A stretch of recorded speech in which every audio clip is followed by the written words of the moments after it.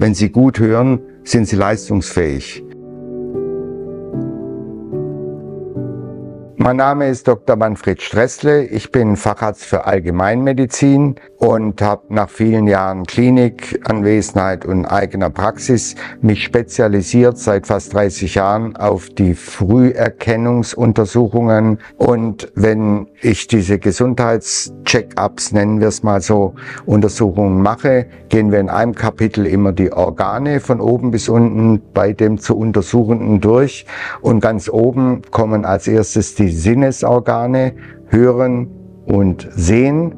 Und das besprechen wir ausführlich und da versuche ich die Menschen auch zu sensibilisieren und sagen, das Hörvermögen ist enorm wichtig. Wenn Sie einen diagnostizierten Hörverlust haben, dann ist natürlich die gängigste Methode und die sinnvollste und beste ein Hörgerät. Aber es ist ein bisschen Überzeugungsarbeit, weil das einfach noch ja, so ein bisschen Hören, ja, Hörgerät, nee, also weiß ich nicht. Äh, das versuche ich den Menschen etwas auszureden und gehe mit gutem Beispiel voran, weil ich hatte das Problem auch, habe seit einem Jahr ein Hörgerät, bin sehr zufrieden. Gutes Hören führt zu einer emotionalen Zufriedenheit, wichtig im Sozialleben, im privaten Bereich, im beruflichen Bereich, das Gefühl der Verbundenheit. Ein gutes Hörvermögen verbessert die kommunikative Funktion. Wenn Sie zum Beispiel im Meeting sind und äh, die Hälfte nicht verstehen oder sich sehr schwer tun und angestrengt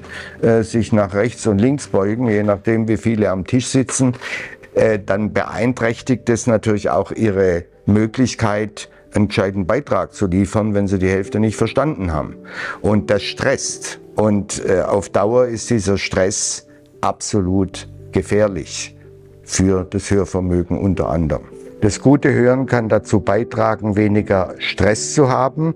Wenn Sie weniger Stress haben, dann äh, sind sie entspannter und aufmerksamer und müssen sich nicht anstrengen. 40 Prozent der Deutschen geben an, dass sie Schlafstörungen haben. Das sind jetzt nicht alles wegen Hörminderung, aber das ist eine Menge. Wer gut hört, der schläft besser, weil Hörminderung damit verbunden ist, dass man bestimmte Nebengeräusche nicht abfiltern kann. Das ist dann leider nicht möglich. Und es führt dazu, dass man schlechter zum Beispiel einschläft, weil diese Nebengeräusche störend sind und weil der Schlaf nicht so erholsam ist.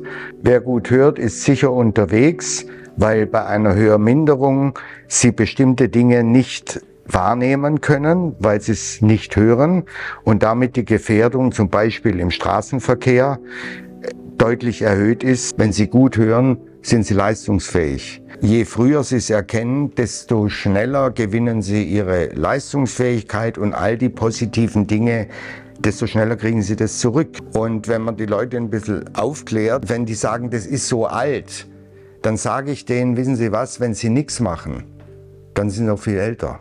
Ja, also Hörgeräte sind beste Investitionen in die Zukunft, in die mentale, emotionale und auch physikalisches Wohlbefinden. Dafür ist ein Hörgerät absolut geeignet und sinnvoll und äh, ich würde es jedem raten.